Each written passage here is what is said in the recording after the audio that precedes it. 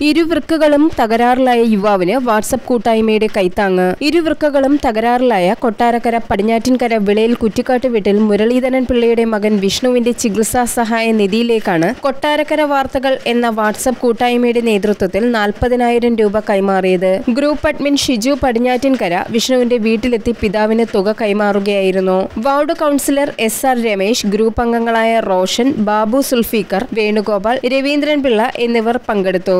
ലോകോത്തര സോഫ സെറ്റുകൾ ഒരുക്കി ഡിമോസ് ഫർണിച്ചർ അവതരിപ്പിക്കുന്നു. ഡിമോസ് ഫർണിച്ചർ. ഇസാൻ ബേബീസ് ഇനി നിങ്ങളിലെ കുട്ടിത്തം ഉണരട്ടെ.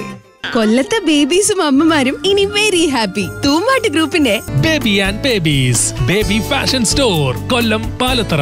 White spot appliances private limited opposite Bright hotel N H road Kottiyam branch beach road Kollam